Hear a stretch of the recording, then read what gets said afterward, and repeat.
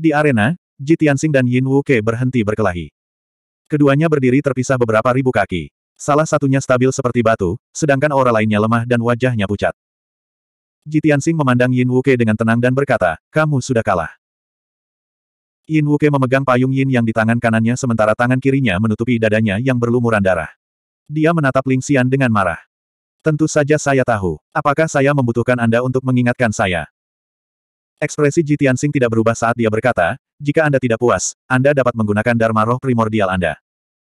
Kata-katanya masih pendek, dan dia berbicara sangat lambat. Aksennya juga agak canggung. Namun, Yin Wuke mengabaikan semua ini. Dia menatap Ling Xian dengan ekspresi gelap dan berkata dengan marah, kamu benar-benar menyebalkan.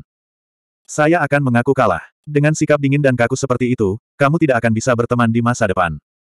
Ji Tianxing tertegun. Dia memandang Yin Wuke dengan aneh. Setelah hening sejenak, dia berkata dengan tenang, aku tidak pernah berpikir untuk berteman denganmu. Anda, Yin Wuke hampir tersedak. Dia sangat marah sehingga dia memutar matanya. Kamu benar-benar tidak tahu apa yang baik untukmu.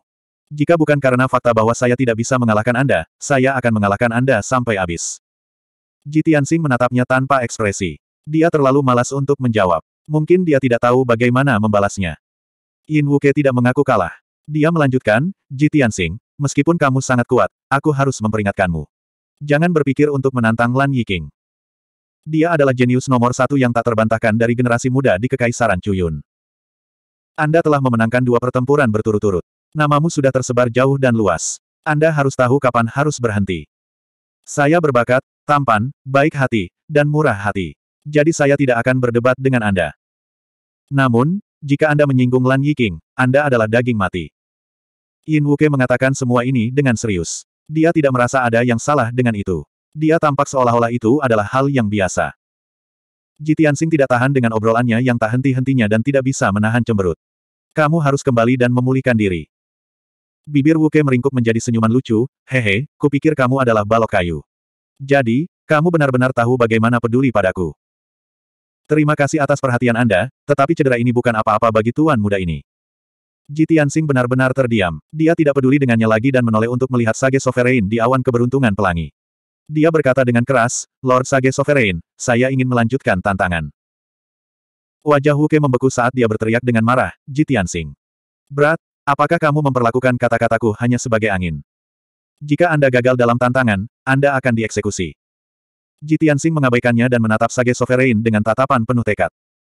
Sage Master mengerutkan kening dan merenung sejenak. Dia menoleh untuk melihat Kaisar Agung Cuyun dan diam-diam meminta pendapatnya melalui transmisi suara.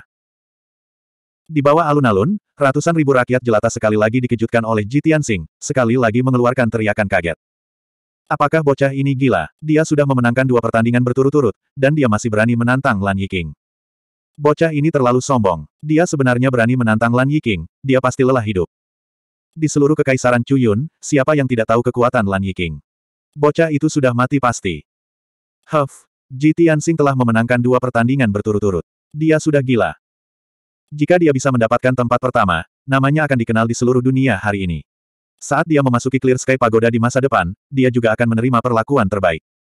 Dia terlalu gegabah. Dia sudah kehilangan akal sehatnya untuk ketenaran. Dia sudah memenangkan dua pertandingan berturut-turut. Berapa banyak kekuatan yang tersisa?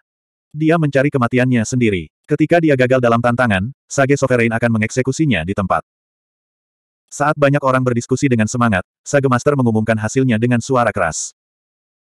Dalam pertandingan ini, Jitiansing menang dan sekarang berada di peringkat kedua. Yin Wuke turun ke posisi ketiga.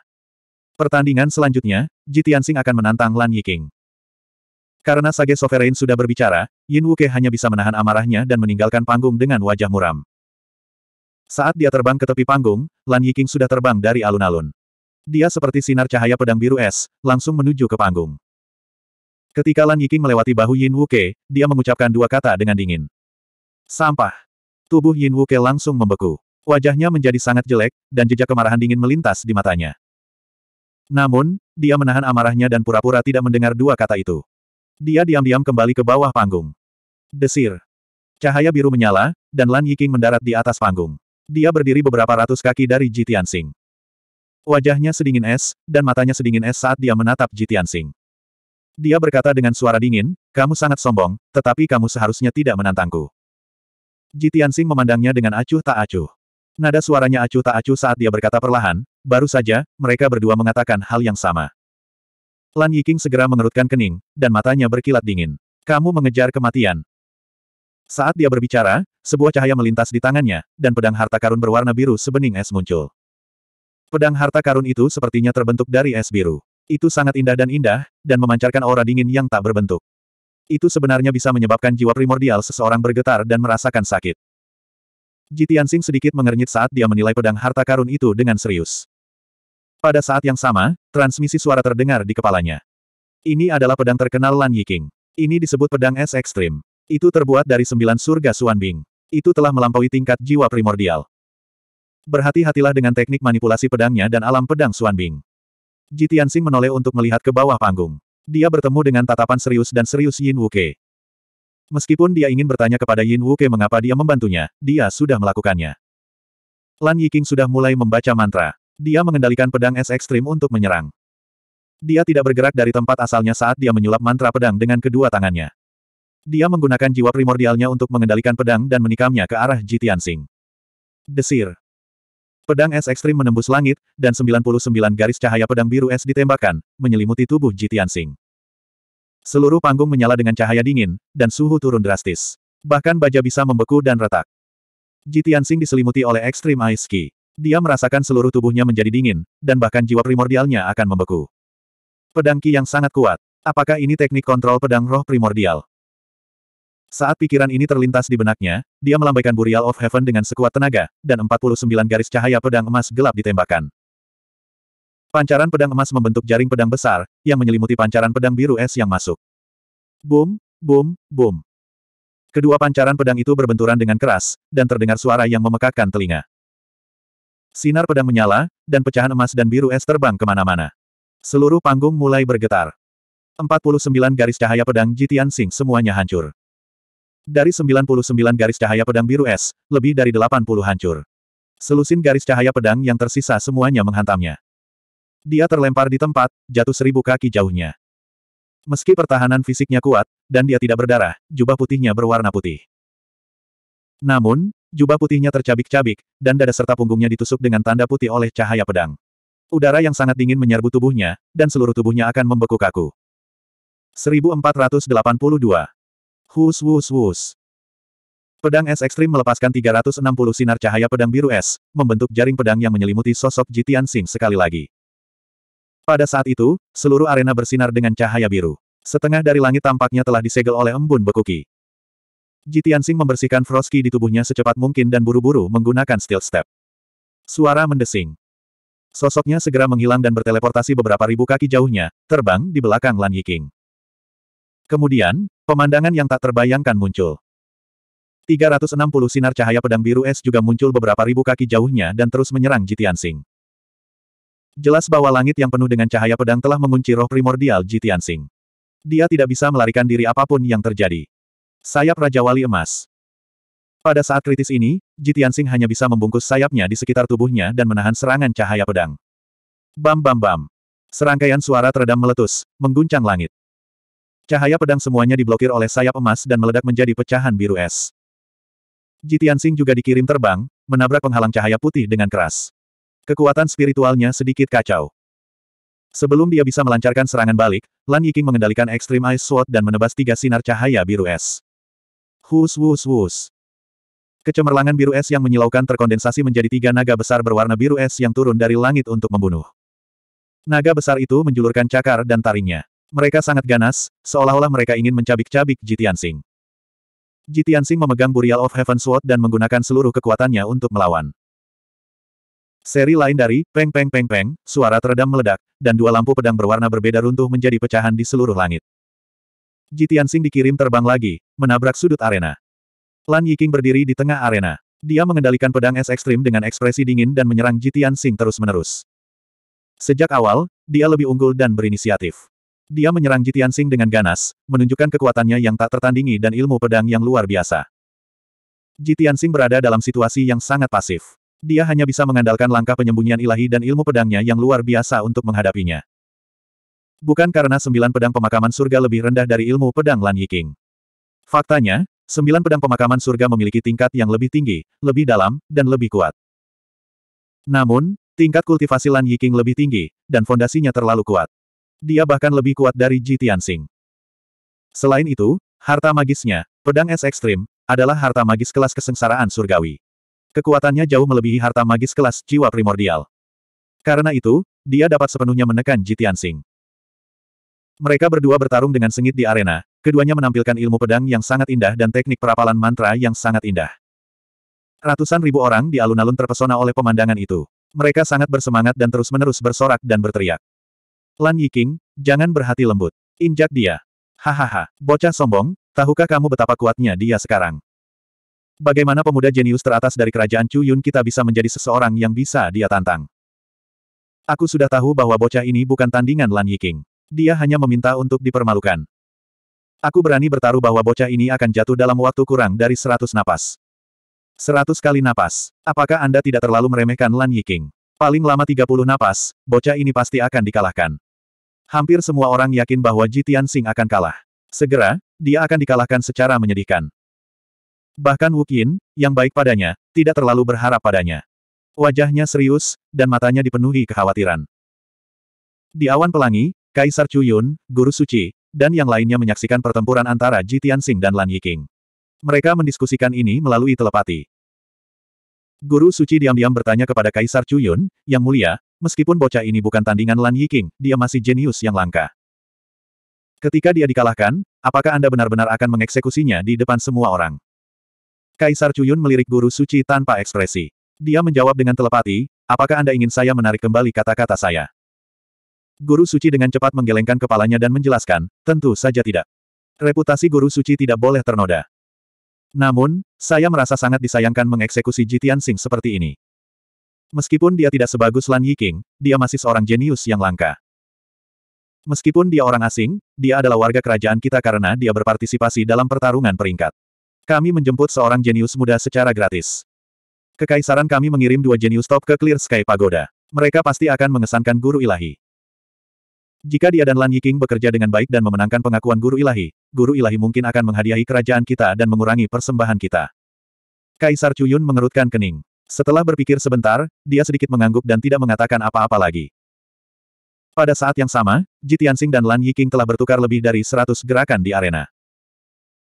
Setelah lebih dari 100 gerakan, Jitiansing sudah akrab dengan teknik pengontrol pedang roh primordial Lan Yiking dan memahami kedalamannya. Dia secara bertahap menstabilkan pijakannya dan memblokir serangan dengan tertib. Dia bahkan menemukan kesempatan untuk melakukan serangan balik. Setelah situasi stabil, Lan Yiking tidak bisa berbuat apa-apa pada Jitian Sing untuk saat ini. Ekspresinya menjadi lebih suram. Cahaya dingin berkedip di matanya, dan seluruh tubuhnya dipenuhi dengan rasa dingin yang mengerikan. Awalnya, dia ingin menggunakan kecepatan tercepatnya untuk mengalahkan Jitian Sing dalam 10 gerakan dan mengintimidasi dunia. Namun, setelah lebih dari seratus gerakan, dia tidak bisa lagi menekan Jitiansing. Ini membuatnya marah seolah-olah dia telah sangat terhina. Akhirnya, dia mengendalikan pedang es ekstrim untuk mengusir Jitiansing lagi. Kemudian, dia membuat keputusan cepat untuk menggunakan skill utamanya. Lapangan pedang Suan Bing. Dia membentuk segel dengan kedua tangan dan membentuk segel misterius. Pedang es ekstrim melepaskan cahaya biru yang menembus langit yang menyebar ke segala arah. Desir, desir, Cahaya pedang biru es yang tak berujung menyelimuti seluruh arena, membentuk domain biru es dengan radius 10 mil. Domain itu dipenuhi dengan ribuan pedang es dan ki dingin yang dapat membekukan roh primordial seseorang. Ini adalah kartu trufnya, domain pedang Suan Bing. Jitian Sing ditekan oleh kekuatan alam pedang Suan Bing, kecepatan gerakannya berkurang setengahnya, energi misteriusnya dan Yuan Shen juga membeku, tidak dapat beredar dengan bebas, dan kekuatan pertempurannya sangat melemah. Lan Yiking berdiri di udara, menatapnya dengan ekspresi dingin. Jitian Sing, saatnya mengakhiri ini. Anda tidak memiliki kualifikasi untuk bertarung dengan saya. Begitu dia selesai berbicara, dia melambaikan tangannya dan mengucapkan mantra, memanipulasi ribuan lampu pedang dari es yang ekstrim untuk menyerang Jitian Sing. Jitian Sing meliriknya dan senyum dingin muncul di wajahnya. Aku akan menunjukkan kepadamu apa itu domain pedang yang sebenarnya. Saat dia berbicara, tubuhnya menyala dengan cahaya keemasan yang membubung ke langit, dan pedang emas raksasa setinggi ribuan kaki muncul di belakangnya. Desir. Itu adalah pedang emas primordial spirit miliknya. Itu bersinar dengan cahaya emas suci, dan ribuan petir ungu berputar di sekitar permukaannya, memancarkan aura panas dan ganas. Domain pedang guntur ilahi. Dia berteriak dan memanipulasi pedang emas primordial spirit untuk membelah menjadi ribuan lampu pedang yang menyebar ke segala arah. Desir, desir, Dalam sekejap mata, sebuah domain dengan radius 10 mil terbentuk. Cahaya keemasan bersinar terang, dan kilat menyambar. Domain itu dipenuhi dengan aura kekerasan dan sombong. 1483 Semua orang tercengang ketika mereka melihat domain pedang petir ilahi yang menyelimuti arena. Mereka mengungkapkan ekspresi tidak percaya. Cahaya keemasan yang gemerlap dan puluhan ribu sinar pedang terkondensasi menjadi domain pedang mistis. Ini sebenarnya tidak banyak. Apa yang benar-benar membuat semua orang tercengang adalah ledakan petir ungu. Semua orang yang hadir tahu betul bahwa hanya yang mulia kesengsaraan kesembilan yang dapat memicu kesengsaraan petir sembilan langit. Jika seseorang dapat selamat dari setiap sambaran petir, mereka akan dianggap telah melampaui kesengsaraan. Kekuatan mereka juga akan meningkat. Hanya eminens kesengsaraan kesembilan yang memiliki hak untuk mengendalikan petir. Di Outcloud Empire, ada banyak ahli yang bisa mengendalikan petir. Namun, orang-orang ini semuanya telah mencapai alam kesengsaraan kesembilan. Misalnya, Kaisar Outlook, Guru Sage, dan delapan bangsawan yang hadir. Namun, Ji Tianxing hanya berada di ranah Essence Soul, namun dia bisa mengendalikan petir. Ini hanyalah sebuah keajaiban. Itu benar-benar menumbangkan pemahaman semua orang tentang alam martial Dao. Tidak hanya ratusan ribu rakyat jelata yang tercengang, tetapi ekspresi Kaisar Outlook, Guru Sage, dan delapan bangsawan berubah secara drastis saat mereka mengungkapkan ekspresi kaget. Di awan keberuntungan tujuh warna, beberapa tokoh kuat saling berdiskusi dengan kaget. B. Bagaimana ini mungkin? Dia benar-benar bisa mengendalikan petir hanya dengan kekuatan jiwa esensi. Bagaimana dia melakukannya? Saya telah mengembangkan martial Dao selama 400 tahun. Ini adalah pertama kalinya saya menemukan hal yang aneh. Anak ini aneh. Dengan sedikit pengasuhan, pencapaiannya di masa depan tidak akan terbatas. Ekspresi Sage Master berubah beberapa kali saat dia diam-diam mendiskusikan masalah ini dengan Kaisar Outlook melalui transmisi suara. Kaisar Sage, saya khawatir kita telah mengambil harta karun. Kaisar Outlook sedikit mengangguk saat matanya berkedip. Dia berkata dengan sungguh-sungguh, sungguh keajaiban bahwa dia bisa mengendalikan kekuatan petir hanya dengan kekuatan jiwa esensi. Saya benar-benar tidak tahu dari mana anak ini berasal. Pakar dan faksi macam apa yang bisa memelihara kejeniusan yang begitu mengerikan. Sage Master buru-buru berkata, masalah ini mudah. Setelah pertarungan peringkat berakhir, aku akan memanggil anak ini ke istana dan menginterogasinya tentang asal-usulnya. Iya, kita harus sampai ke dasar ini. Kaisar Outlook berkata dengan tatapan membara, saya telah merekrut talenta selama ratusan tahun, dan akhirnya membuahkan hasil. Setelah masalah hari ini menyebar, utusan pagoda surga luas akan mengetahuinya dengan sangat cepat. Pada saat itu, Lord Divine Master pasti akan memiliki tingkat penghormatan yang sama sekali baru untuk kaisar ini. The Sage Sovereign juga mengungkapkan senyum puas. Sungguh keuntungan yang tak terduga. Kaisar Sage, Anda akan segera menerima bantuan dari guru ilahi. Saat semua orang berdiskusi dengan penuh semangat, situasi di arena sudah berubah. Jitiansing merilis domain pedang guntur ilahi, yang sepenuhnya mengimbangi kekuatan domain pedang Suan Bing. Dia berulang kali mengayunkan telapak tangannya, mengendalikan puluhan ribu pedang emas. Dengan Zidian yang memenuhi langit, dia bertarung sengit dengan Lan Yiking. Peng peng peng. Ledakan. Cahaya pedang emas dan biru es bertabrakan satu sama lain, menghasilkan suara yang keras dan teredam. Garis-garis ular petir meledak di dalam domain, menghasilkan ledakan yang memekakkan telinga. Cahaya pedang es ekstrim hancur sedikit demi sedikit. Lan Yiking juga dirugikan, terus-menerus mundur. Domain pedang Suan Bing yang paling dia banggakan sebenarnya tidak mampu menahan satu pukulan pun dari kekuatan petir ilahi. Wajahnya sangat suram, dan matanya melonjak karena kaget dan marah. Sialan, dia benar-benar mengendalikan kekuatan petir ilahi. Dia benar-benar menyembunyikannya dengan baik. Dia tidak muncul lebih awal atau lebih lambat, tetapi sebenarnya menantang saya dalam pertarungan peringkat untuk mengambil kehormatan saya. Sialan. Pertempuran peringkat murid dewa sangat penting baginya. Jika dia bisa memasuki Fast Heaven Pagoda sebagai jenius nomor satu kekaisaran Cuyun, masa depannya tidak akan terbatas. Hanya dengan cara ini kultivasi pahitnya selama puluhan tahun tidak akan sia-sia. Tapi sekarang, semua ini akan dihancurkan di tangan Jitian Sing. Bagaimana mungkin dia tidak marah? Untungnya, Kekuatan pedang es ekstrim cukup kuat untuk mendukung domain Suan Bing, dan tidak akan runtuh dalam waktu singkat. Dia berulang kali melambaikan telapak tangannya dan menggunakan seluruh kekuatannya untuk merapal mantra untuk memblokir serangan Jitian Sing. Akhirnya, dia menemukan kesempatan dan menggunakan skill ultimate-nya tanpa ragu. Badai pedang es. Mengikuti teriakannya yang dingin, lebih dari 9.000 lampu pedang es memadat menjadi badai yang tingginya ribuan kaki, menelan Jitian Sing. Desir, desir, desir, Badai Suan Bing berputar cepat, dengan panik mencoba mencekik Jitian Sing. Kekuatan es dingin ekstrim didorong hingga batasnya oleh Lan Yiking, dengan gila-gilaan mengikis tubuh Jitian Sing. Jitian Sing berada di tengah badai Suan Bing, dan darah di tubuhnya hampir membeku. Tapi dia mencoba yang terbaik untuk melawan, mengarahkan 99 pilar petir untuk menyerang badai Bing. Ledakan, ledakan, ledakan. Dalam serangkaian suara keras, petir Zidian meledak, memenuhi seluruh domain. Arena diselimuti cahaya ungu, dan tidak ada yang bisa dilihat dengan jelas. Badai Bing runtuh di tempat, meledak menjadi ribuan keping dan memercik ke segala arah. Lan Yiking tersapu oleh petir yang dahsyat, dan dia memuntahkan darah di tempat, menabrak dinding cahaya domain pedang petir ilahi. Tapi dia mengertakkan gigi dan menahan rasa sakit, tidak bersuara. Dia segera menyalurkan energinya untuk menekan luka-lukanya, dan sekali lagi memanipulasi kekuatan domain pedang Suan Bing untuk membentuk ribuan lampu pedang biru es. Selama kekuatan domain pedang Suan Bing tidak habis, dia bisa menjaga domain pedang Suan Bing tetap berjalan dan terus melawan Jitian Sing. Jitian Sing juga melihat hal ini. Dia mengerutkan kening, dan sebuah pikiran melintas di benaknya. Kekuatan Lan Yiking sedikit lebih lemah dariku, tapi dia bisa begitu kuat karena kekuatan pedang Suan Bing. Saya harus menemukan cara untuk menghancurkan domain pedangnya, jadi saya bisa mengalahkannya secepat mungkin. Jika tidak, dengan kekuatan pedang Suan Bing, dia akan menghabiskan kekuatan Dharmaku cepat atau lambat. Setelah mengambil keputusan, dia segera membuka mata Dharma petir ilahi di dahinya. Petir ilahi. Mata Dharma petir ilahi menyimpan petir ilahi dalam jumlah yang tak ada habisnya, dan mengalir seperti banjir. Pilar Divine Lightning sepanjang seribu kaki langsung menghancurkan semua pedang es di langit, dan dengan keras menghantam domain pedang Bing. Ledakan, retakan. Pada saat itu, suara guntur bergema di langit dan bumi, dan mengguncang area dalam radius seribu mil. Separuh langit ditutupi oleh cahaya ungu, dan itu menyilaukan. Di bawah tatapan kaget dari banyak orang, sebuah lubang besar terbuka di domain pedang Bing, dan retakan padat muncul. Guntur yang merusak berubah menjadi miliaran ular listrik, dan menyebar di sepanjang domain pedang Bing. Dengan suara retak, domain pedang Suan Bing dengan cepat runtuh, dan segera hancur berkeping-keping. Dengan domain pedang dihancurkan, roh primordial Lan Yiking mengalami serangan balik. Wajahnya menjadi pucat, dan darah mengalir keluar dari mulut dan hidungnya. Kesadarannya kabur, dan dia terlempar oleh gelombang kejut, dan jatuh ke tepi arena.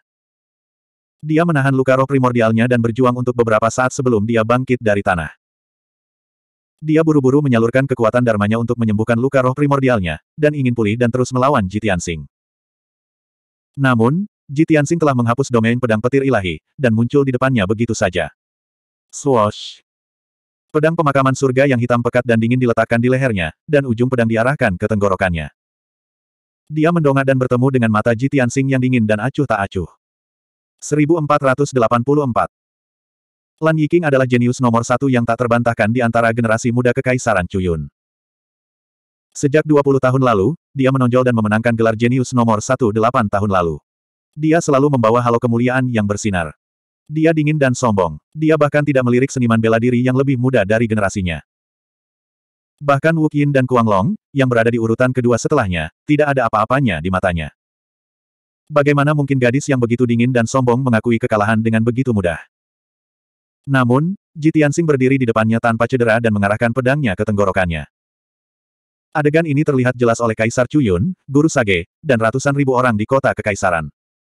Apa yang bisa dia lakukan jika dia tidak mengaku kalah? Penghinaan dan kemarahan yang intens memenuhi hatinya, menyebabkan tubuhnya yang ramping bergetar. Dia menatap Jitiansing dengan dingin. Muridnya terbakar dengan api biru es. Tatapannya setajam pedang, seolah ingin menusuk Jitiansing menjadi saringan. Jitiansing bisa merasakan kebencian yang tak tertandingi dalam tatapannya yang sangat dingin. Setelah beberapa lama, Lan Yiking berkata dengan suara serak, Jitiansing, aku akan mengingatmu. Saya telah bekerja keras selama 20 tahun untuk hari ini, tetapi Anda telah merusaknya. Ingat, suatu hari, aku akan mengalahkanmu secara adil dan jujur di depan semua orang dan membunuhmu dengan tanganku sendiri. Lan Yiking bukanlah orang yang banyak bicara. Dia belum pernah berbicara begitu banyak kepada siapa pun sebelumnya. Namun, 20 tahun yang lalu, dia telah mempersiapkan pemilihan murid dewa tahun ini. Dia bersumpah untuk memasuki Clear Sky Pagoda sebagai jenius nomor satu dari kerajaan Cuyun. Dalam 20 tahun terakhir, untuk meningkatkan kekuatannya dan mengungguli rekan-rekannya, dia telah bekerja keras siang dan malam. Dia telah menahan rasa sakit yang tak terbayangkan. Dia telah berada di ambang kesuksesan. Namun, dalam pertarungan peringkat terakhir, Jitiansing muncul entah dari mana dan merebut posisi nomor satu darinya, menghancurkan semua usahanya. Perbedaan antara nomor 2 dan nomor 1 hanya satu posisi. Namun, signifikansinya sangat berbeda. Dunia hanya akan memandang kejeniusan yang paling menonjol. Siapa yang peduli dengan nomor 2? Setelah itu, Lan Yiking tanpa ekspresi berbalik dan pergi. Dia berubah menjadi cahaya biru es dan terbang seperti kilat. Dia meninggalkan alun-alun dan menghilang ke cakrawala. Jelas, dia bahkan tidak ingin melihat peringkat, apalagi mendengarkan diskusi orang banyak. Terlepas dari apakah semua orang merasa senang atau merasa kasihan padanya, ini adalah penghinaan baginya. Setelah Lan Yiking pergi, Sage Master mengumumkan hasilnya dengan suara yang bermartabat. Jitian Sing memenangkan pertempuran ini. Jitian Sing naik ke posisi pertama, dan Lan Yiking akan naik ke posisi kedua. Suara agung dan perkasa menyebar ke seluruh alun-alun. Ratusan ribu warga sipil semuanya memasang ekspresi rumit saat mereka berseru dan berdiskusi dengan keras. Banyak orang terkejut dan tidak percaya. Mereka masih tidak percaya bahwa anak tanpa nama seperti Jitian Sing bisa mengalahkan Lan Yiking. Beberapa orang tertarik dengan identitas Jitian Sing dan berspekulasi tentang asal dan latar belakangnya. Ada juga orang yang dipenuhi dengan kemarahan yang benar. Mereka sangat marah atas kekalahan memalukan Lan Yiking. Mereka memukul dada dan menginjak kaki mereka, penuh kebencian dan permusuhan terhadap Jitian Sing. Di ruang kosong di bawah panggung, selusin jenius muda semuanya memiliki ekspresi yang rumit. Semua orang menilai Jitian Sing dengan tatapan serius. Mereka diam-diam mendiskusikan kekuatan, metode, dan latar belakangnya. Mereka cukup waspada terhadapnya. Xenofobia adalah sifat umum manusia. Itu sama di setiap dunia. Jitian Sing, orang luar yang tidak dikenal ini, menjadi lawan dan musuh yang diwaspadai semua orang. Hanya Yin Wuke yang menilai Jitian Sing dengan matanya yang cerah dan senyum lucu di wajahnya. Aku tidak menyangka orang ini begitu sakit. Dia bahkan bisa mengalahkan Lan Yiking. Aku tidak kalah secara tidak adil. Melihat Lan Yiking sangat marah hingga dia akan muntah darah, itu terlalu memuaskan. Hehehe, aku semakin menyukai anak ini. Uke telah berkali-kali diejek dan dipermalukan oleh Lan Yiking. Hatinya dipenuhi dengan kebencian dan dia tidak sabar menunggu Lan Yiking dipermalukan. Sayangnya, kekuatan dan latar belakangnya tidak sekuat Lan Yiking. Dia hanya bisa menahan penghinaan Lan Yiking. Hari ini, Ji Tianxing telah membantunya memenuhi keinginannya dan membantunya melampiaskan amarahnya. Tentu saja, dia sedang dalam suasana hati yang baik dan ingin tertawa terbahak-bahak. Sebelumnya, ketika dia dikalahkan oleh Ji Tianxing, dia merasa tertekan dan malu. Tapi sekarang, semua depresi dan ketidakbahagiaannya tersapu bersih. Tantangan telah berakhir dan Ji Tianxing memenangkan tempat pertama. Secara alami, dia harus meninggalkan panggung. Us. Dia melangkah ke udara dan berjalan turun dari panggung. Dia mendarat di ruang kosong di bawah panggung. Selusin jenius muda di sekitarnya semua mundur beberapa langkah dan menjaga jarak darinya. Hanya Wuke yang tidak peduli dengan tatapan aneh yang diberikan orang lain padanya. Dia dengan cepat pergi ke dia. Dia berjalan di depan Jitian Sing, mengulurkan tangannya sambil tersenyum, dan menepuk pundak Jitian Sing. Tidak buruk, nak. Anda benar-benar menyembunyikan kekuatan Anda dengan baik. Jitian Sing menatapnya tanpa ekspresi. Dia mengerutkan kening dan tidak mengatakan apa-apa. Siapa pun tahu bahwa dia tidak ingin terlalu dekat dengan Wuke. Namun, Wu Ke pura-pura tidak melihat ekspresinya. Dia bertindak seolah-olah dia sangat akrab dengannya dan tersenyum. Jitian Sing, mulai hari ini dan seterusnya, kamu adalah jenius nomor satu di Kekaisaran Cuyun. Dalam beberapa hari, utusan Clear Sky Pagoda akan tiba dan membawa kita ke Clear Sky Pagoda. Saat itu tiba, kita akan memasuki Clear Sky Pagoda untuk berkultivasi dan kita akan menjadi saudara. Jitian Sing terus mengabaikannya. Dia melihat panggung tanpa ekspresi dan memperlakukannya seperti udara. Uke sama sekali tidak merasa canggung. Dia berdiri bahu-membahu dengannya dan melihat ke panggung sambil tersenyum. Dia masih berbicara tanpa henti. Lan Yiking, gadis itu, selalu sombong dan dingin. Dia tidak peduli dengan siapa pun. Sayang sekali kami tidak mampu menyinggung perasaannya. Bahkan jika dia mempermalukan kita, kita tidak bisa melawan. Tapi kamu cukup kuat. Anda tidak hanya merusak reputasinya, Anda juga mengalahkannya di depan semua orang. Anda bahkan membuatnya menerima kekalahannya dengan sepenuh hati. Sungguh memuaskan. Jitian Sing tidak bisa menahan cemberut. Dia menoleh untuk menatapnya dan berkata dengan dingin, jangan bicara tanpa berpikir. Apa maksudmu aku merusak reputasinya? Uke terkejut. Dia buru-buru menjelaskan, jangan salah paham. Saya tidak mengatakan bahwa Anda menodai kepolosannya. Maksud saya adalah... Melihat bahwa dia memperburuk keadaan, Jitian Sing tidak bisa menahan diri untuk tidak berteriak, diam. Uke mengerutkan kening dan melengkungkan bibirnya untuk mengungkapkan ketidakpuasannya. Sebelumnya, matanya sangat cerah saat melihatmu. Dia sepertinya tertarik padamu. Jika Anda cukup berani, mungkin Anda bisa mencoba menodainya. Mungkin dia tidak akan melawan. Wajah Jitian Sing menjadi lebih gelap. Dia menatapnya dengan serius dan berkata dengan dingin, izinkan saya menceritakan sebuah kisah. Dahulu kala, ada seorang tuan muda yang mulia bernama Murong. Dia bahkan lebih cantik dari seorang gadis. Dia mengambil inisiatif untuk mendekati saya dan mencoba yang terbaik untuk mengikat saya. Tapi kemudian, minat Wuke langsung terguncang. Dia bertanya dengan penuh harap, lalu apa yang terjadi? Jitiansing menatapnya dengan dingin dan berkata perlahan, kalau begitu, aku membunuhnya. Bahkan tulangnya pun tidak tersisa. 1485 Jika Jitiansing tetap diam, Yin Wuke masih bisa berpura-pura tidak melihat sikap dinginnya dan mengambil inisiatif untuk mengungkapkan niat baiknya. Namun, cerita Jitiansing membuat Yin Wuke merasa sangat canggung. Setelah terdiam beberapa saat, dia berkata kepada Jitiansing, Jitiansing, meskipun kamu telah mendapatkan tempat pertama, kamu masih orang luar dan rumput bebek yang tidak berakar. Tuan muda ini murah hati dan tidak akan berdebat dengan Anda. Namun, jika Anda terus bersikap dingin dan sombong di masa depan, saya khawatir Anda tidak akan dapat melakukan apa pun dan cepat atau lambat akan menemui kesialan. Selanjutnya, Tuan muda ini hanya mengingatkan Anda dengan niat baik. Jika Anda tidak tahu apa yang baik untuk Anda, Tuan muda ini tidak akan mengganggu Anda. Jitiansing secara alami memahami logika ini. Namun, dia secara alami merasa jijik dan muak dengan tuan muda yang begitu menggoda. Oleh karena itu, dia memandang Yin Wuke dengan tenang dan berkata dengan serius, terima kasih atas pengingat Anda. Namun, harap lebih berhati-hati. Yin Wuke memutar matanya dengan muram dan berbalik untuk pergi. Kuang Long, yang tidak jauh dari situ, diam-diam menyaksikan pemandangan ini. Dia tidak bisa membantu tetapi mengungkapkan senyum mengejek. Ketika Yin Wuke berjalan melewatinya, dia tertawa dingin dan mentransmisikan suaranya, kekeke. Kamu dilecehkan, kan? Kamu benar-benar tak tahu malu. Yin Wuke menoleh dan meliriknya. Wajahnya dipenuhi dengan penghinaan saat dia menjawab, kamu dikalahkan olehnya dalam waktu kurang dari tiga langkah. Bagaimana kamu masih memiliki wajah untuk berbicara? Dia lebih tampan darimu, auranya lebih menonjol darimu dan kekuatannya jauh lebih tinggi darimu. Jika tuan muda ini tidak ingin dekat dengannya, haruskah saya peduli dengan orang yang jelek dan menjijikkan seperti Anda? Wajah Kuang Long menjadi hijau karena penghinaan. Dia mengepalkan tinjunya dengan erat dan menggertakkan giginya saat dia menatap Yin Wuke. Dia ingin mencabik-cabiknya. Yin Wuk, Anda Yin Yang. Saat dia hendak memarahinya, Yin Wuke mengungkapkan tatapan yang sangat menghina, orang jelek, jangan bicara dengan tuan muda ini. Kamu mengotori mata dan telingaku. Setelah mengatakan ini, dia membawa payung Yin Yang yang sangat indah dan pergi dengan santai. Kuang Long sangat marah hingga hampir muntah darah. Namun, dia tidak bisa membantahnya. Dia hanya bisa menatap pandangan belakangnya dan mengutuknya di dalam hatinya. Sangat cepat, 15 menit berlalu. Tak satu pun dari para jenius yang naik ke atas panggung untuk menantang lagi. Peringkat sudah diperbaiki. Sage Master mengumumkan dengan lantang, pertarungan peringkat pemilihan murid dewa tahun ini telah berakhir. 15 jenius muda dalam daftar akan mewakili negara mereka dan menuju ke pagoda surga luas untuk berkultivasi dalam pengasingan.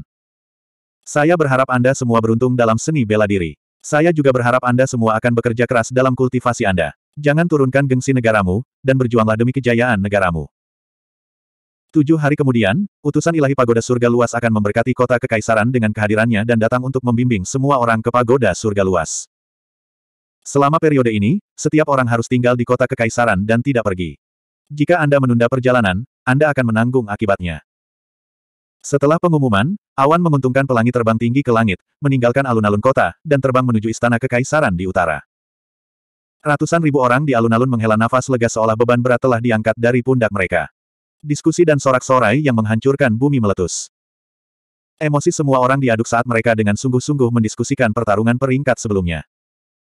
Hampir semua topik berkisar pada Jitiansing, Lan Yiking, dan yang lainnya. Semua orang tahu bahwa mulai hari ini dan seterusnya, nama Jitiansing pasti akan menyebar ke seluruh kekaisaran Outcloud, dan dia akan menjadi super jenius yang diketahui semua orang. Yang paling penting adalah identitas dan asalnya misterius. Itu sangat topikal. Dia datang entah dari mana dan menyapu tiga jenius muda yang hebat saat dia menunjukkan wajahnya. Dia memenangkan tiga pertempuran berturut-turut dan merebut tempat pertama dengan gagah berani. Dia sangat mendominasi dan juga agak legendaris. Jitiansing tidak memperhatikan siapa pun. Setelah Sage Master dan yang lainnya pergi, dia diam-diam meninggalkan alun-alun kota. Dia kembali ke tempat penginapan sementara di kota selatan dan memasuki sebuah rumah tua.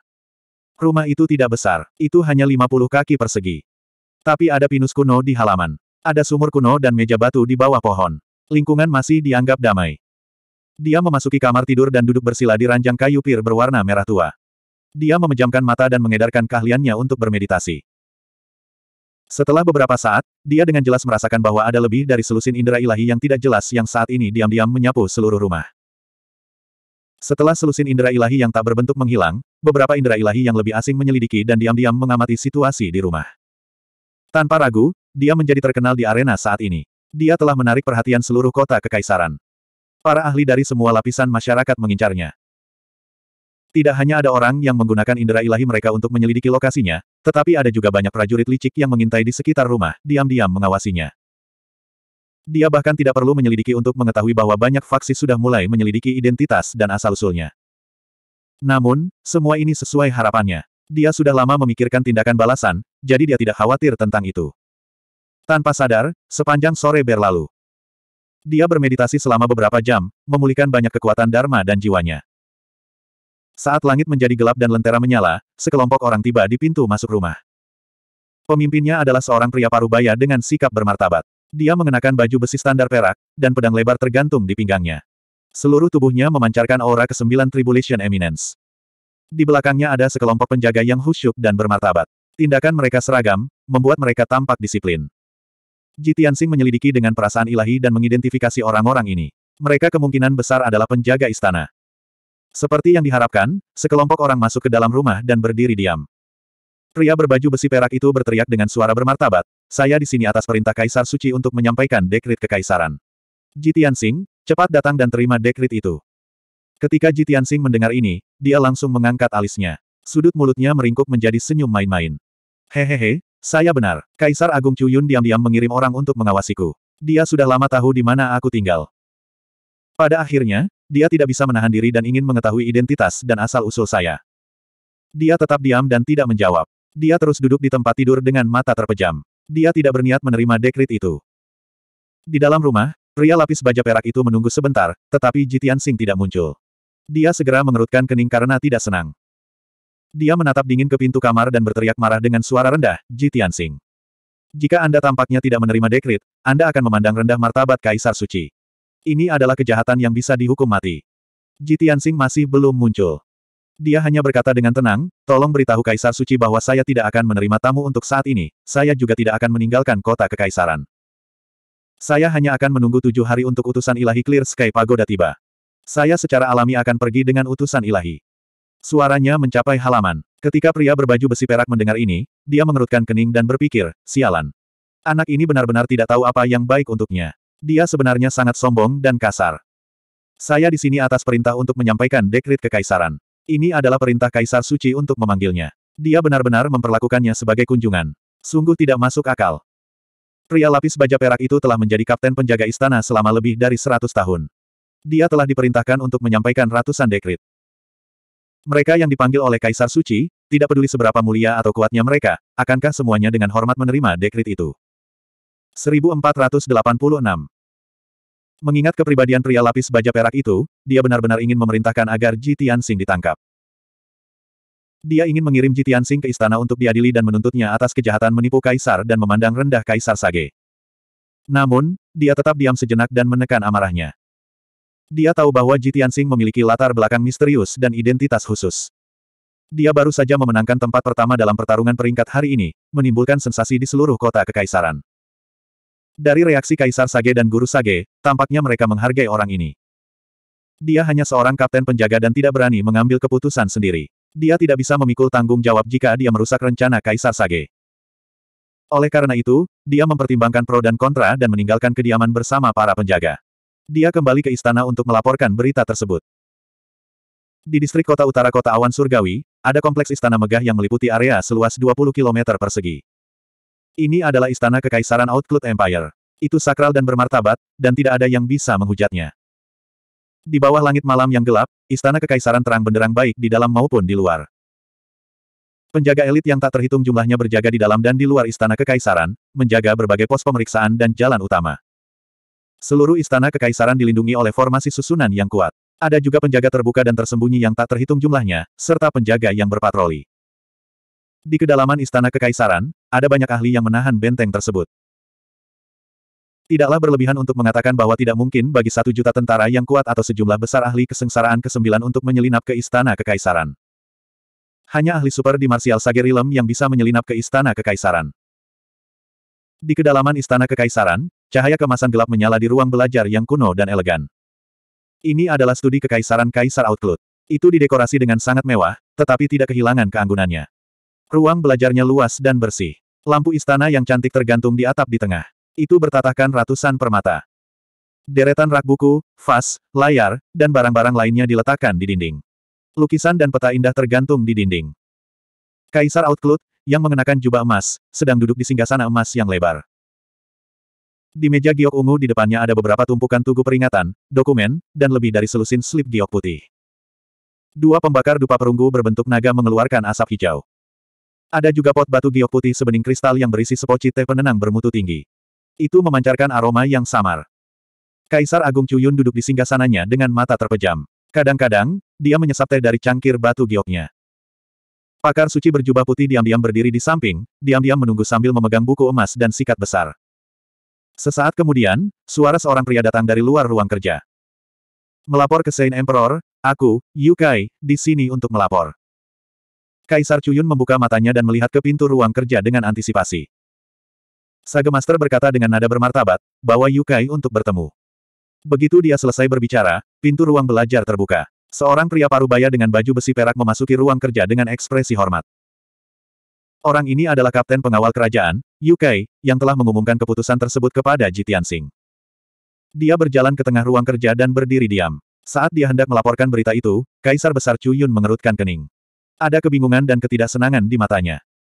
Sage Sovereign juga bertanya dengan nada bermartabat, di mana Jitiansing? Mengapa Anda tidak membawanya ke sini? Yukai terintimidasi oleh aura kuat keduanya. Dia segera membungkuk ketakutan dan menjelaskan, tolong maafkan saya, Kaisar Suci. Saya pergi ke kediaman Jitiansing dan mengumumkan keputusan itu secara langsung. Namun, bocah itu sangat sombong. Tidak hanya dia tidak menunjukkan dirinya, tetapi dia juga menentang keputusan Kaisar Suci. Kemudian, Yukai mengulangi kata-kata Jitiansing kepada Kaisar Agung Chuyun dan Sagemaster. Setelah dia selesai berbicara, ekspresi Great Emperor Chuyun dan Sagemaster berubah. Mereka mengerutkan kening dengan ganas, dan mata mereka agak suram. Yukai, kamu boleh pergi duluan. Sage Master melambaikan tangannya dan memecat Yukai. Setelah Yukai pergi, hanya Kaisar Agung Chuyun dan Sage Master yang tersisa di ruang kerja. Kaisar Agung Chuyun mengerutkan kening. Dia dengan lembut mengetuk meja giok ungu dengan satu tangan dan berkata dengan ekspresi muram, apakah bocah ini terlalu sombong atau terlalu bodoh? Sage Master menganalisis tanpa ekspresi, meskipun Jitiansing bukan warga negara ini, tidak peduli dari mana asalnya, dia harus memahami prinsip bahwa otoritas raja seberat gunung. Menurutku, bukan karena bocah ini tidak tahu etiket, tapi dia sengaja menolak untuk bertemu denganmu. Huff. Dia sengaja memprovokasi harga diriku untuk menguji sikapku. Kaisar Agung Chuyun mengangkat alisnya dan mencibir. Sage Master mengerutkan kening dan berpikir sejenak. Dia menggelengkan kepalanya dan berkata, bocah ini dipenuhi dengan bakat dan luar biasa. Dia tidak tampak seperti orang yang sembrono. Apa perbedaan antara ini dan mencari kematian? Saya pikir dia kemungkinan besar mencoba menyampaikan pesan kepada Kaisar Suci untuk memberitahu Anda posisinya. Ketertarikan Great Emperor Chu Yun terusik. Dia berkata, mari kita dengarkan. Sage Master berkata dengan suara rendah, menurut apa yang dikatakan bocah ini kepada Yukai, dia jelas ingin kamu tahu bahwa dia tidak tertarik pada kekuatan berpengaruh mana pun di negara ini. Dia tidak ingin bersentuhan dengan kekuatan di negara ini. Dia hanya akan menunggu tujuh hari untuk utusan Dewa Clear Sky Pagoda tiba dan meninggalkan negara ini. Great Emperor Chu Yun berpikir sejenak dan mengangguk. Setelah analisismu, ada benarnya juga. Berbagai kekuatan besar di negeri ini pasti tidak akan bisa menahan diri dan diam-diam akan mencari kesempatan untuk menghubunginya, mengikatnya, dan menyuapnya. Jika ada kekuatan tersembunyi di belakangnya, mereka juga akan mencoba menghubunginya. Biarkan pengawal bayangan surgawi terus mengawasinya dan jangan melepaskan petunjuk apa pun. Saya ingin melihat apa latar belakangnya. Apakah tujuan dan niatnya benar-benar seperti yang dia katakan?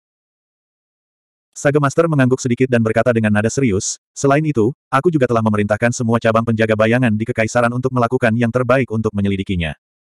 Great Emperor Chu Yun mengangguk puas. Em, bagus.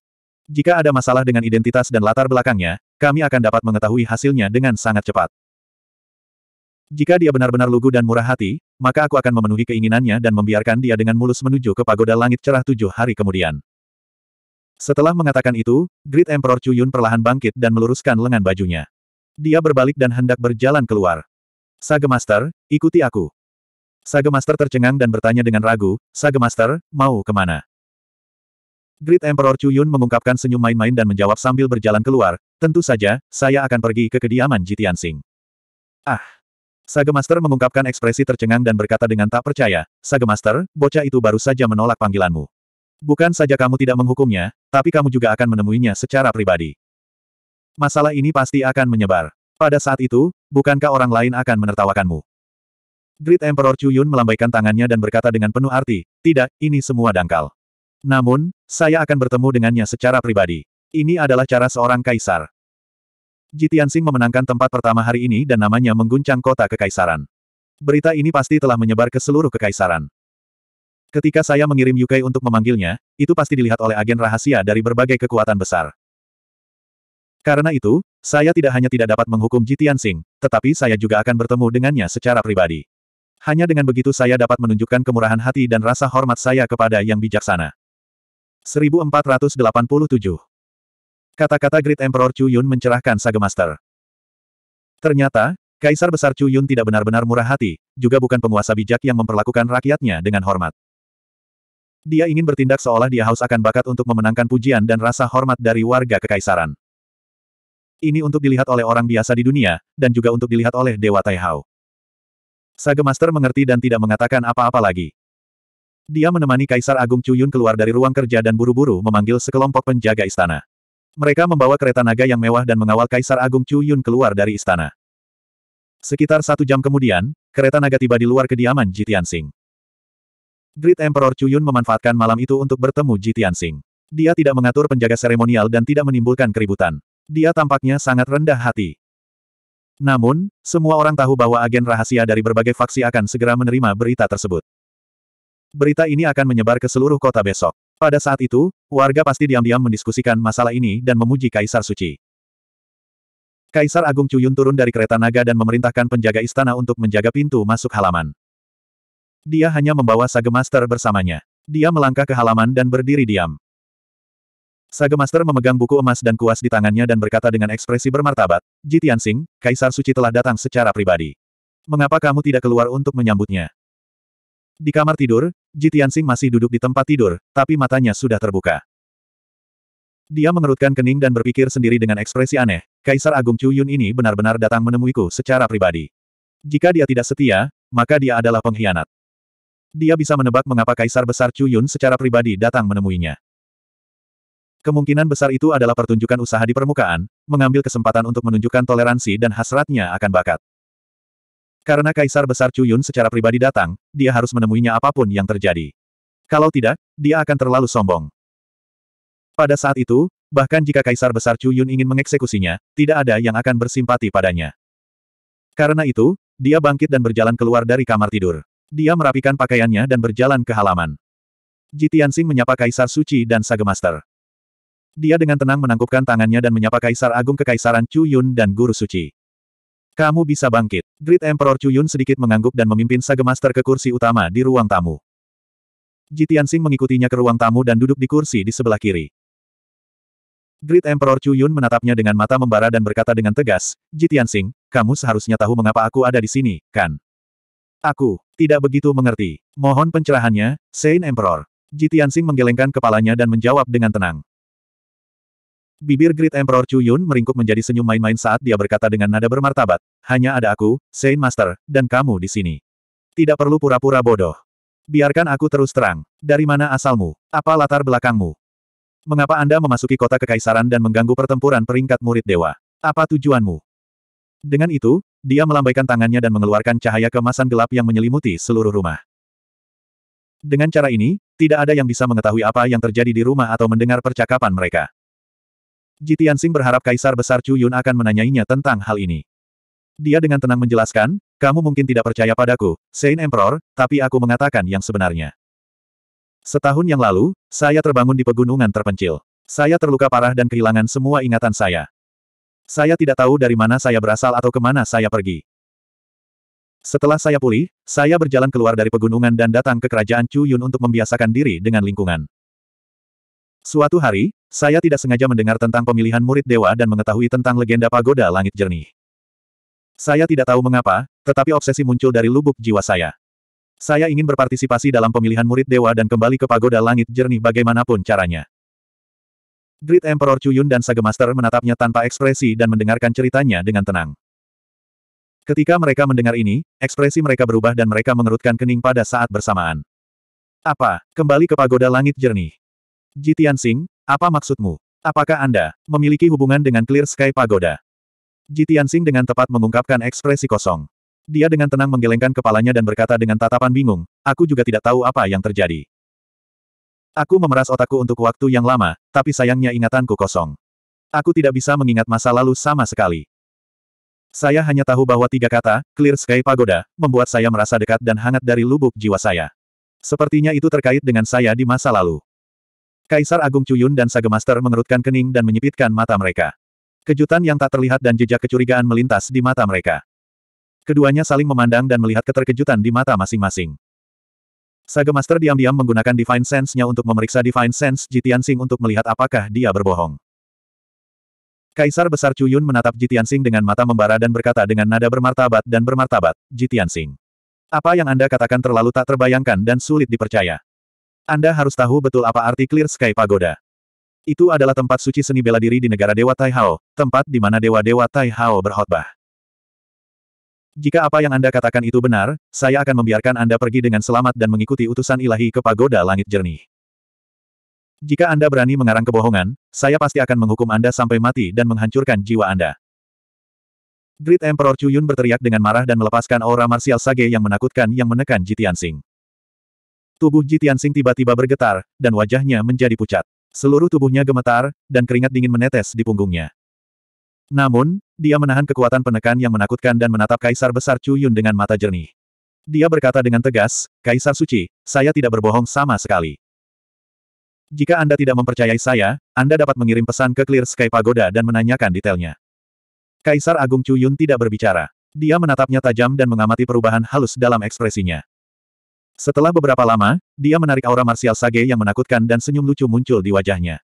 Hahaha. Jika itu masalahnya, kali ini aku akan mempercayaimu dan mengizinkanmu meninggalkan negara dan pergi ke pagoda langit jernih. Saya juga berharap Anda dapat segera memulihkan ingatan Anda dan mengetahui identitas dan asal Anda. Ketika saatnya tiba, jangan lupakan kebaikan yang telah saya tunjukkan pada kerajaan Cuyun. Jitiansing menundukkan kepalanya dan terengah-engah. Dia tidak menjawab. Great Emperor Cuyun melirik Sage Master dan melihatnya sedikit mengangguk. Dia kemudian bangkit dan berjalan ke pintu. Beristirahatlah di sini selama beberapa hari ke depan. Ingatlah untuk pergi ke alun-alun kota tujuh hari kemudian dan menyambut kedatangan utusan pagoda langit cerah. Ketika dia selesai berbicara, dia telah memimpin Sage Master keluar rumah dan menaiki kereta naga yang mewah. Segera, penjaga istana membawa kereta naga dan segera meninggalkan rumah, menghilang di malam hari. Jitiansing perlahan mengangkat kepalanya dan menatap dingin ke pintu masuk rumah. Dia diam-diam menghela nafas lega. Untungnya, saya sudah siap dan mengarang cerita sebelumnya. Begitulah cara saya bisa membodohi Kaisar Agung Cuyun. 1488 Sebelum berpartisipasi dalam pertarungan peringkat, Jitiansing menghabiskan waktu tiga hari untuk mempersiapkan diri. Dia menemukan bahwa Kaisar Besar Kekaisaran Cuyun adalah seorang munafik yang ingin cepat sukses. Dia juga tahu bahwa status Clear Sky Pagoda itu suci dan tak terjangkau. Bahkan Kaisar Besar Kekaisaran Cuyun tidak akan pergi ke Pagoda Langit Jernih untuk menyelidiki kebenaran. Itu sebabnya dia berani mengarang cerita amnesia. Dia menggunakan cerita ini untuk memberi petunjuk kepada Kaisar Agung Kerajaan Cuyun bahwa dia entah bagaimana berhubungan dengan pagoda langit jernih. Jika Kaisar Besar Kekaisaran Cuyun ingin membunuhnya, dia harus mempertimbangkan konsekuensinya. Selain itu, jika dia pergi ke pagoda langit jernih sebagai jenius nomor satu Kekaisaran Cuyun, hanya akan ada keuntungan bagi Kaisar Agung Kekaisaran Cuyun. Kaisar Agung Kekaisaran Cuyun sangat cerdik. Bagaimana mungkin dia tidak mengerti taruhannya? Fakta juga membuktikan bahwa Jitiansing telah membuat taruhan yang tepat. Situasinya seperti yang dia harapkan. Setelah Kaisar Besar Kekaisaran Cuyun mengujinya, dia tidak memanggilnya lagi. Tentu saja, mata-mata dan ahli yang bersembunyi di sekitar rumah tidak pernah pergi. Mereka diam-diam mengawasinya selama ini. Dua hari berlalu dalam sekejap mata. Heavenly Cloud City masih ramai dengan kebisingan dan kegembiraan. Warga kota masih mendiskusikan pertempuran peringkat. Mereka tenggelam dalam keterkejutan dan keheranan. Jalan-jalan dan gang-gang dipenuhi orang-orang dalam kelompok 3 sampai 5 orang. Mereka semua berdiskusi dan menebak latar belakang Jitiansing. Nama Jitiansing dikenal oleh wanita dan anak-anak. Ia menjadi pusat dari semua topik. Apalagi, ada desas-desus yang menyapu seluruh kota kekaisaran seperti embusan angin. Jalan-jalan, gang-gang, rumah-rumah, bar, dan tempat-tempat lain di kota, selama ada seniman bela diri dan warga berkumpul, percakapan yang sama terus berlangsung. Dikatakan bahwa pada malam pertarungan peringkat, Kaisar Suci mengirim seorang kapten penjaga untuk memanggil Jitian Sing ke istana untuk audiensi. Namun, Jitian Sing telah menutup pintu kapten penjaga dan menolak untuk menunjukkan dirinya. Tidak hanya itu, dia bahkan dengan arogan menolak dan menolak untuk bertemu dengan Saint Emperor. Banyak orang terkejut ketika mereka mendengar ini. Bola mata mereka hampir jatuh ke tanah. Tidak ada yang berani percaya bahwa jenius nomor satu, Jitian Sing, begitu sombong sehingga dia bahkan berani menentang keputusan Kaisar Suci. Bukankah ini terlalu sombong? Dia benar-benar tidak berotak. Apakah dia tidak takut diretas sampai mati oleh penjaga kekaisaran karena memprovokasi Saint Emperor seperti ini? Bahkan jika dia jenius nomor satu dan akan menjadi murid Dewa Fast Heaven Pagoda, dia juga tidak memiliki kualifikasi untuk mengudara di hadapan seorang kaisar suci. Sulit dipercaya. Apakah berita ini benar? Anda tidak mengada-ada, bukan? Jitian Sing pasti telah dijatuhi hukuman mati dengan seribu luka, kan? Namun, ini hanya paruh pertama dari berita. Bagian kedua dari berita itu bahkan lebih mengejutkan dan mengejutkan semua orang yang hadir. Hehe. Semua orang mungkin tidak percaya, tapi bukan hanya Jitian Sing tidak dieksekusi, dia masih hidup dan sehat. Malam itu, Kaisar Suci benar-benar membawa Kaisar Suci ke kediaman Jitian Sing. Kaisar Sage secara pribadi telah meninggalkan istana untuk menemuinya. Meskipun tidak ada yang tahu apa yang dikatakan Kaisar Sage kepadanya, menurut penjaga istana, Kaisar Sage tampaknya sedang dalam suasana hati yang baik. Ketika semua orang mendengar berita ini, seluruh tempat menjadi sunyi. Semua orang tercengang dan benar-benar tercengang. Ketika semua orang sadar kembali, mereka membuka mata lebar-lebar dan berteriak kaget seolah-olah mereka telah melihat hantu. Ya Tuhan, ini tidak mungkin benar, kan? Anda, Anda, Anda. Apakah Anda yakin tidak bercanda? Mengarang cerita tentang Kaisar Sage bisa dihukum mati. Ini tidak bisa dipercaya. Jitiansing menyinggung martabat Kaisar Sage. Tidak hanya Kaisar Sage tidak menyalahkannya, dia bahkan pergi menemuinya secara pribadi. Sialan Jitiansing, dia terlalu sombong dan kasar. Untungnya, Kaisar Sage bijaksana dan berbudi luhur dan murah hati, jadi dia memaafkan kejahatan Jitiansing. Jika tidak, dia akan dieksekusi sejak lama. Iya, Kaisar Sage berwawasan luas dan haus akan bakat. Itu sebabnya dia memperlakukan Jitian Sing dengan sangat sopan. Kami sangat beruntung bisa menerima perlindungan Kaisar Sage. Dengan Kaisar Sage yang bertanggung jawab atas kekaisaran, mengapa kita harus khawatir tidak bisa makmur? Akan ada hari ketika kerajaan kita akan menjadi kerajaan nomor satu. Penggarap dan rakyat jelata yang tak terhitung jumlahnya kembali sadar dan menyanyikan pujian untuk Kaisar Agung Kekaisaran Cuyun. Mereka menyembah dan mendukungnya. Adapun Jitian Sing, semua orang merasa bahwa dia lebih misterius dan luar biasa. Mereka sangat menghormatinya. Seorang jenius muda yang layak mendapat perlakuan dari Kaisar Agung Kekaisaran Chu Yun tidak muncul dalam 300 tahun terakhir. Bagaimana mungkin mereka tidak takut dan iri padanya? Dua hari kemudian, berita ini menyebar keluar kota kekaisaran dan dengan cepat menyebar ke semua kota besar. Kebanyakan orang memiliki reaksi yang sama ketika mereka mendengar berita ini. Tanpa disadari, reputasi Kaisar Agung Kekaisaran Chu Yun menjadi lebih tinggi. Dia juga menerima lebih banyak dukungan dan pujian dari rakyat jelata. Jitiansing juga menjadi lebih legendaris. Dia menjadi jenius seni bela diri paling misterius dalam 300 tahun terakhir. Di timur Kekaisaran Cuyun, ada wilayah glasial yang membentang jutaan mil. Di bawah gletser biru pucat ada pegunungan megah yang tak berujung. Ada banyak puncak dan jurang yang aneh. Medan dan lingkungan di sini sangat istimewa. Itu disebut gletser malam abadi. Tidak ada sinar matahari di sini selama bertahun-tahun. Langit selalu diselimuti oleh kabut tebal dan awan. Wilayah glasial dengan radius jutaan mil gelap dan suram. Angin dingin melolong seolah-olah tidur selamanya di malam hari. Begitulah Eternal Night Glacier mendapatkan namanya. Ini adalah area terlarang yang berbahaya. Itu juga merupakan wilayah pribadi keluarga Lan. Tanpa izin, tidak ada yang diizinkan masuk ke Eternal Night Glacier. Kalau tidak, mereka akan mati. Di kedalaman Glacier Malam Abadi, ada sebuah kastil dengan radius 5 km di atas puncak es besar yang tingginya puluhan ribu kaki. Kastil itu sepenuhnya dibangun dengan es. Itu tampak jernih dan berkedip-kedip dengan cahaya biru pucat. Itu tampak seperti mimpi, seperti kerajaan kecil di dunia es dan salju. Saat ini, di ruang rahasia di kedalaman kastil.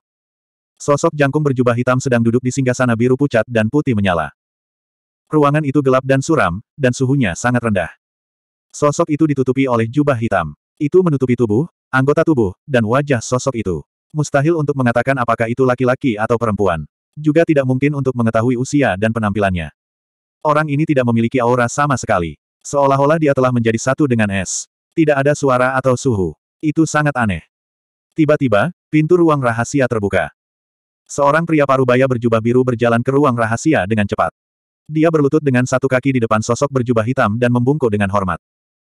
Tuanku, ada berita baru dari kota kekaisaran. Dari dalam jubah hitam, suara yang dingin, mematikan, tanpa emosi terdengar. Berbicara.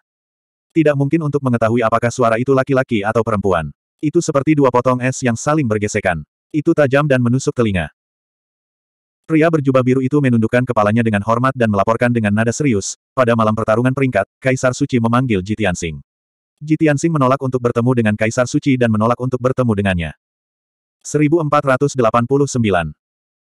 Setelah pria berjubah biru itu melaporkan berita tersebut, ruang rahasia itu menjadi sunyi. Sosok berjubah hitam itu terdiam lama sebelum dia mengucapkan beberapa patah kata dengan dingin. Dia sombong. Ada yang salah dengan ini. Pria berjubah biru itu berdiri dengan hormat dengan tangan di sisinya dan melaporkan dengan suara rendah, kamu benar. Menilai dari perilaku pria itu, dia memiliki latar belakang yang misterius dan sangat sombong. Dengan temperamen dan pembawaan kaisar, dia tidak akan pernah mentolerir perilaku sombong seperti itu. Tetapi untuk beberapa alasan, kaisar mentolerirnya dan tidak berniat melanjutkan masalah tersebut. Saya telah mengirim orang untuk menyelidiki, tetapi mereka tidak dapat menemukan apa yang dibicarakan kaisar dengannya. Saya hanya menebak bahwa pria itu benar-benar memiliki bakat luar biasa, itulah sebabnya Kaisar sangat menghargainya dan memperlakukannya dengan sangat terhormat. Sosok berjubah hitam itu terdiam beberapa saat sebelum dia bertanya, apakah kamu sudah mengetahui tentang latar belakang pria itu? Pria berjubah biru dengan cepat menjawab, saya telah menyelidiki lebih dari sepuluh kekuatan teratas dan ratusan keluarga bangsawan di negara kita, tetapi saya tidak dapat menemukan informasi apa pun tentang dia. Sejauh ini, kami telah memastikan bahwa dia mungkin bukan warga negara kami. Bahkan jika dia berasal dari negara kita, dia pasti berasal dari keluarga miskin tanpa dasar atau latar belakang untuk dibicarakan. Ketika dia mengatakan ini, nada pria berjubah biru itu tegas dan dingin. Sosok berjubah hitam itu terdiam beberapa saat sebelum dia bertanya lagi, bagaimana situasi Kinger. Pria berjubah biru itu tampak khawatir dan berkata dengan suara rendah, karena Nona kalah dari Jitian Sing di depan umum, dia kembali ke villa di luar kota kekaisaran dan mengurung diri. Nona benar-benar marah dan dia sangat membencinya. Beberapa pelayan wanita yang melayaninya semuanya terluka atau terbunuh olehnya. Bahkan tuan muda yang pergi menghiburnya terluka dan diusir olehnya. Sekarang, tidak ada yang berani mendekatinya. Sosok berjubah hitam itu tidak mengatakan apa-apa. Dia tidak terkejut dengan hasil ini. Pria berjubah biru itu mengerutkan kening dan berkata dengan nada kesal, Nona telah bekerja keras selama beberapa dekade dan menanggung begitu banyak rasa sakit dan penderitaan hanya untuk membuat namanya terkenal dalam pemilihan murid dewa tahun ini. Bajingan terkutuk itu muncul entah dari mana dalam pertarungan peringkat dan mengambil gelar Nona sebagai jenius nomor satu. Dia mempermalukan Nona di depan umum dan membuat kerja kerasnya selama puluhan tahun sia-sia. Lebih penting lagi, mereka bahkan mempermalukan keluarga Lan kami, dan membuat keluarga lain diam-diam menertawakan kami dan menertawakan kemalangan kami. Jun Sang, permusuhan ini harus dibalas. Tidak hanya itu akan membantu Nona melampiaskan amarahnya, tetapi juga akan menunjukkan martabat keluarga Lan kita. Setelah berhenti sejenak, pria berjubah biru itu melanjutkan, sikap kaisar terhadap pria itu sangat memanjakan.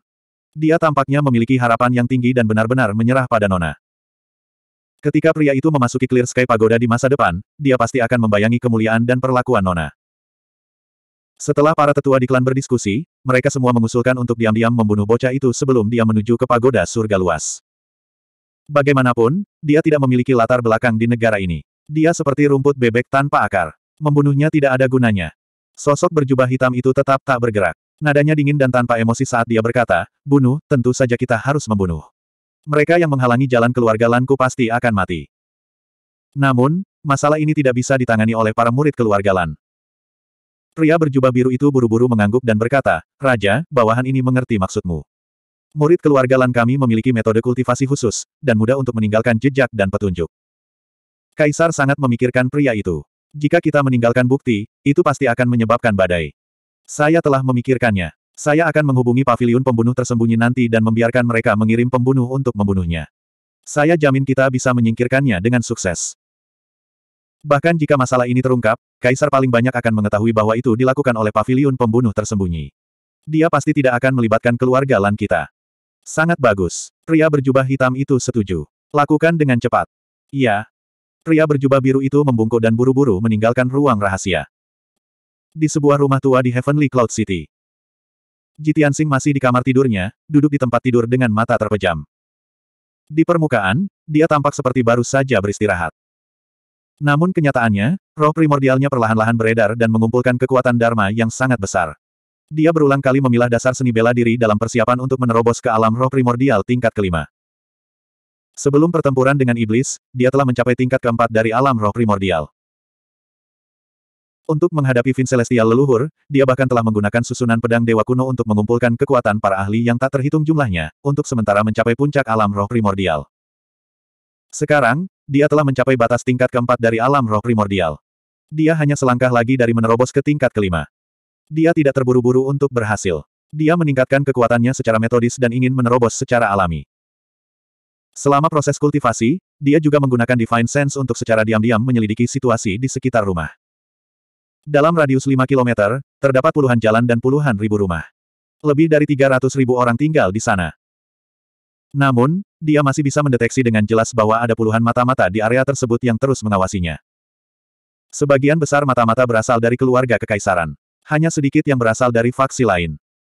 Beberapa hari yang lalu, ada lebih dari seribu mata-mata yang diam-diam mengawasinya. Itu sangat berantakan. Sejak Kaisar Tian datang secara pribadi untuk menemukannya, berita menyebar di kota. 90% mata-mata dan mata-mata dari berbagai faksi ditarik dalam semalam. Lagi pula, kunjungan pribadi Kaisar Tian merupakan indikasi dari sikapnya. Sebagian besar faksi tidak berani menyinggung Kaisar Tian. Mereka secara alami ingin menghindari kecurigaan dan tidak berani melibatkan diri dalam masalah ini. Mata-mata dan mata-mata yang berani terus mengawasinya pasti dari faksi teratas. Jitiansing hanya perlu menganalisis sedikit untuk memahami prinsip-prinsip ini. Meskipun situasiku saat ini tampak berbahaya, sebenarnya ini yang paling aman. Berbagai tiran mengawasiku. Anak buah Kaisar Tian juga mengawasiku. Tidak ada yang berani bertindak gegabah. Masih ada tiga hari tersisa sebelum utusan ilahi dari pagoda surga jernih tiba. Ketika saatnya tiba, saya akan meninggalkan kota awan surgawi dengan utusan ilahi. Semuanya akan diselesaikan dan saya tidak lagi berhubungan dengan kerajaan Outcloud. Saat pikiran-pikiran ini melintas di benaknya, dia menghela nafas dalam hati. Yao Yao, kamu di mana? Ketika saya memasuki pagoda surga jernih, apakah saya akan menerima berita tentang Anda dan melihat jejak Anda? Tanpa sadar, itu sudah tengah malam. Di bawah tirai malam yang gelap gulita, rumah tua itu sunyi. Pintu utama rumah dan berbagai ruangan tidak menyala. Mereka tidur dalam kegelapan pekat.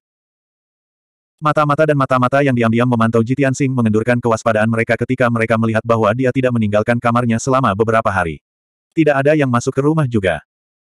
Tepat pada saat ini, tiga hantu tidak jelas muncul di langit malam ribuan meter jauhnya. Tiga bayangan mengebor ke tanah dan bergerak diam-diam di kedalaman bumi. Mereka diam-diam merayap menuju rumah tanpa menimbulkan suara atau aura apa pun.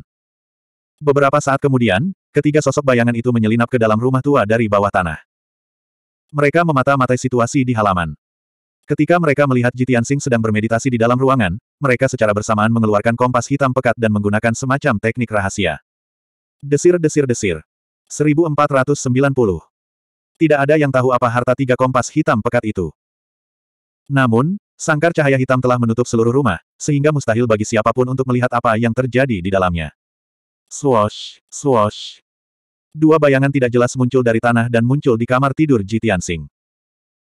Keduanya melepaskan kecepatan tercepat mereka dan menggunakan gerakan membunuh terkuat mereka untuk menyerang Jitiansing. Swoosh, swoosh. Pancaran pedang hitam pekat dan pancaran pedang emas gelap masing-masing menembus ke arah dahi dan jantung Jitiansing. Semua ini terjadi dalam sepersekian detik. Itu sangat cepat sehingga tidak ada yang tahu apa yang harus dilakukan dan bagaimana memblokirnya. Pancaran pedang dan pancaran pedang hendak menembus Jitiansing. Pada saat kritis ini, dia tiba-tiba membuka matanya, memperlihatkan tatapan dingin dan tajam. Seluruh tubuhnya menyala dengan cahaya keemasan yang menyilaukan, yang terkondensasi menjadi perisai mana emas gelap. Bam, bam, Pancaran pedang dan pancaran pedang menembusnya pada saat yang sama, menciptakan dua suara yang keras dan tumpul. Perisai kekuatan Darmik emas gelap hancur di tempat, dan Jitian Sing juga terlempar oleh hantaman yang mengerikan. Kekuatan kekerasan meledak dan menabrak dinding sekitarnya. Suara retakan terdengar ketika setengah dari rumah runtuh karena getaran, mengirimkan puing-puing dan ubin beterbangan ke mana-mana. Jitian Sing jatuh ke dalam rumah. Matanya berkilat seperti kilat, dan baru saat itulah dia melihat sekelilingnya dengan jelas. Dia melihat ada kehampaan hitam pekat di segala arah. Radiusnya setidaknya belasan mil.